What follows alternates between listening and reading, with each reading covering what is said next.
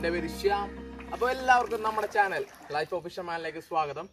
മത്സ്യബന്ധനവുമായി ബന്ധപ്പെട്ട എല്ലാത്തരം വീഡിയോകളും അത് തന്നെയാണ് നമ്മുടെ ചാനലിലെ ഹൈലൈറ്റ് അപ്പോൾ ഇന്ന് നമ്മുടെ ഫസ്റ്റ് വീഡിയോ ആണ്.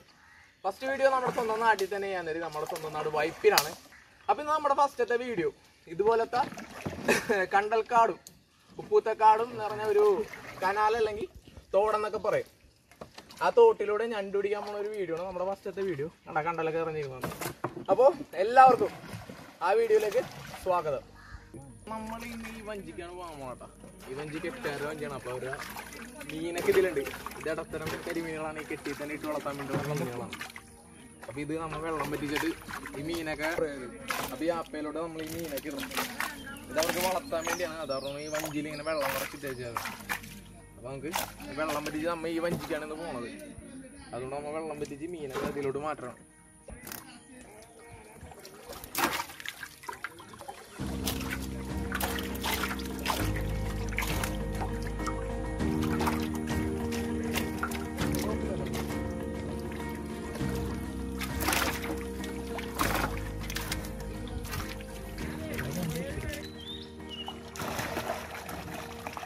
നമ്മ ഇന്ന് ഞണ്ട് പിടിക്കാൻ പോണ രീതി എന്ന് വെച്ചാൽ ഇവിടെ ഞങ്ങളുടെയൊക്കെ ഓർമ്മയിൽ പരമ്പരാഗതമായിട്ട് യൂസ് ചെയ്യണ ഒരു രീതി തന്നെയാണ്. അതായത് ഞണ്ടാറ എന്ന് പറയുന്നത്. ഇത് ഉപയോഗിച്ചാണ് നമ്മിന്ന് ഞണ്ട് പിടിക്കാൻ പോണത്. അപ്പൊ ഒരു കമ്പി ഉണ്ടല്ലോ. കമ്പി ഇങ്ങനെ നമ്മ റൗണ്ട് ഷേപ്പിൽ വളച്ചിട്ട് ഇങ്ങനെ ബൗൾ പോലെ വല കിട്ടിയാണ് എന്താ വെച്ചാൽ ഞണ്ട് ഇങ്ങനെ കയറിയിട്ടുണ്ടെങ്കിൽ ഇവിടെ ഒന്ന് കിടക്കും. അതിനുവേണ്ടിയാണ് അപ്പൊ അതേപോലെ നാല് റോപ്പ് ഇങ്ങനെ ക്രോസ് ചെയ്ത് കിട്ടിയേക്കണേണ് അത് നമ്മ ഇര കിട്ടാൻ വേണ്ടിയാണ്. പിന്നെ അതേപോലെ ത്രാസ് പോലെ ഇങ്ങനെ മൂന്ന് റോപ്പ് ഇങ്ങനെ നമ്മ കെട്ടിയേക്കണേ ഒരു വള്ളി ഇങ്ങനെ നീളത്തിൽ കെട്ടിയേക്കണേ. ഓക്കെ അപ്പൊ നമ്മ ഇന്ന് രേട്ടാൻ പോണേണ് ഇപ്പൊ റിങ്ങിലോട്ട്. അപ്പൊ കൂരിയാണ് നമ്മ എടുത്തത് കൂരി കട്ട് ചെയ്തേക്കണാണ് കൂരിക്ക് നല്ല മാംസം ഉണ്ട് അതുകൊണ്ടാണ് നമ്മ ഇന്ന് കൂരി എടുത്തത് എല്ലാരും ഇങ്ങനെ റിങ്ങിടാൻ പോകുന്നവരൊക്കെ ഒരു ദിവസം ഉപ്പിട്ട് വെക്കും. ഈ കൂരി പോലത്തെ മീനൊക്കെ മാംസമുള്ള മീനൊക്കെ. നല്ല സ്മെല്ലുണ്ടാവും ഞണ്ടിനെ ആകർഷിക്കാൻ പറ്റും. ഞണ്ട് ആകർഷിച്ച് റിങ്ങിലോട്ട് വരും. പക്ഷെ നമ്മ ഉപ്പിട്ടൊന്നും പറ്റില്ല നമുക്ക് എന്തായാലും ഇങ്ങനെ തന്നെ കേട്ടോ. അപ്പൊ ഇതുപോലത്തെ ഒരു ഒമ്പാണ് നമ്മ വഞ്ചിയിൽ സെറ്റ് ചെയ്ത് വെച്ചിട്ടുണ്ട്. അപ്പൊ നമുക്ക് എന്തായാലും അതിലോട്ട് ഇടാം. ഓക്കെ അപ്പൊ നമ്മളെ റിംഗ് ഒക്കെ സെറ്റ് ചെയ്ത് വെച്ചാണ് നമ്മ നേരെയൊക്കെ കിട്ടി സെറ്റ് ആക്കി വെച്ചാണ് അപ്പൊ നമ്മ റിംഗ് ഇട്ട് തുടങ്ങാൻ പോണേണ് അപ്പൊ ഏകദേശം ഒരു അമ്പത് മീറ്റർ ഇടവിട്ട് നമുക്ക് റിംഗ് ഇടാൻ പറ്റുള്ളൂ. എന്താ വെച്ചാൽ ഇത്തിരി ഡിസ്റ്റൻസ് വേണം. എന്നാലേ ഞണ്ട് കയറുള്ളൂ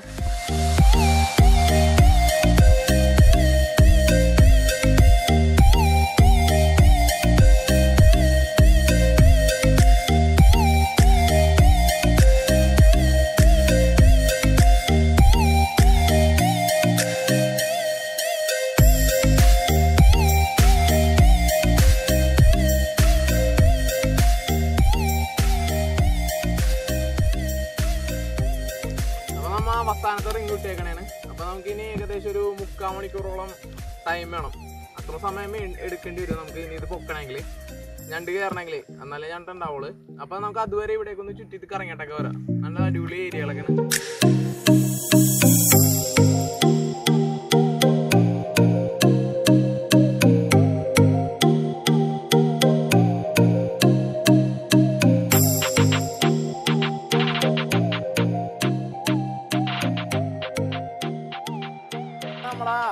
അളതുകൊണ്ട സാധനം. അതായത് ഇത് കമ്പിക്കൊല്ല എന്നൊക്കെ പറയും. അപ്പൊ ഇത് വെച്ചാണ് നമ്മൾ ഞണ്ടിനെ അളയെന്ന് ഇങ്ങനെ തോണ്ടി എടുക്കണത്. അപ്പൊ ഇതുപോലത്തെ സ്ഥലങ്ങളിലൊക്കെ ഒരുപാട് അളകളൊക്കെ ഉണ്ടാവും മരത്തിന്റെ അടിയിലൊക്കെ. അപ്പൊ ആ മരത്തിന്റെ അടിയിലൊക്കെ ഞണ്ടുണ്ടെങ്കിൽ നമുക്ക് ഇത് തോണ്ടി എടുക്കാം.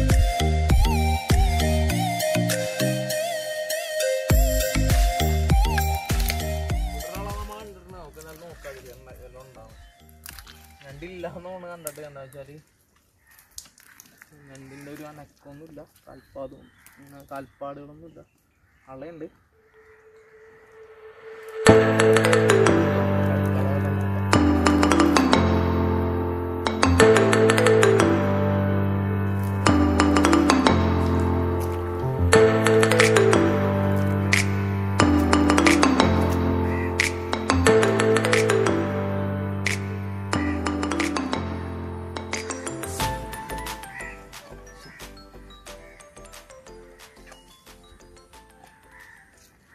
സൗണ്ട് കേൾക്കണോ രണ്ടെണ്ണെങ്കിൽ സൗണ്ട് ഉണ്ടോ? അതുപോലെ ചെള്ള ഇങ്ങനെ ചാടിക്കണ്ടാവും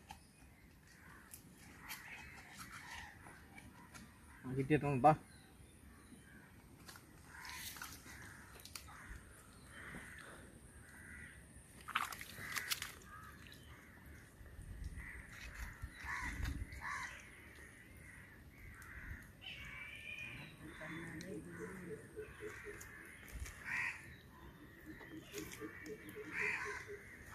കടി കിട്ടിക്കാൻ നല്ല സുഖമായിരിക്കും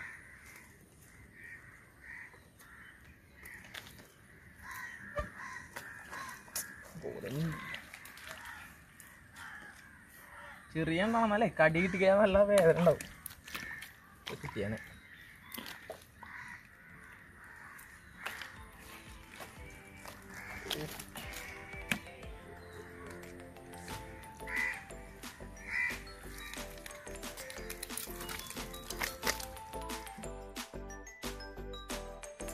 വെള്ളയപ്പ് കൊണ്ട് കിടാറും ഞണ്ടര പിടിക്കുമ്പോ ഈ പങ്കക്കാലെ പിടിക്കണം ദേ കടി കിട്ടും വെള്ളയപ്പ് കുളിച്ചേക്കണേ ആശ പണി കിട്ടി ഏ പിടിപ്പിച്ചേ അതിന്റെ വലുതിനൊക്കെ നല്ല പൈസ ഉണ്ടാവും ചെറുതാണ് കുഴപ്പമില്ല അത്യാവശ്യം നല്ല ഉണ്ടാവും നമ്മളപ്പോ ആദ്യത്തെ റിങ് നോക്കാൻ പോണേണ് നമ്മളിപ്പോ ഒഴുക്കിനെതിരാണ് തുഴയാണ്. അത് കാരണം ഭയങ്കര ബുദ്ധിമുട്ടാണ്.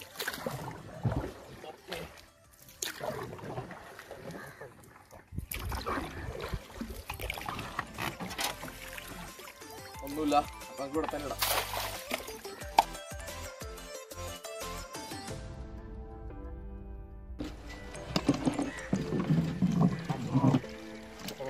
അത്യാവശ്യം വലിയ കണ്ടാണ് കമ്മട്ടിക്കാലാണ് അപ്പൊ.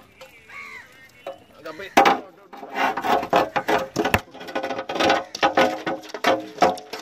വീണ്ടില്ല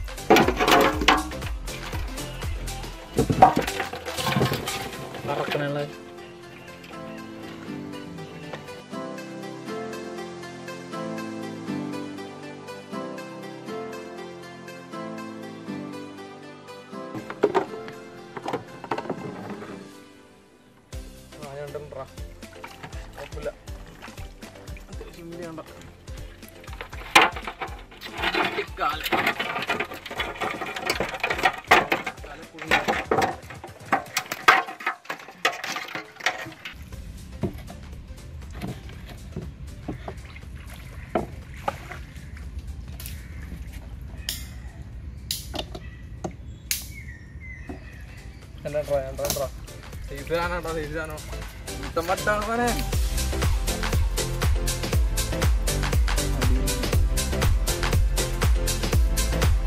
രണ്ട് മുതൽ?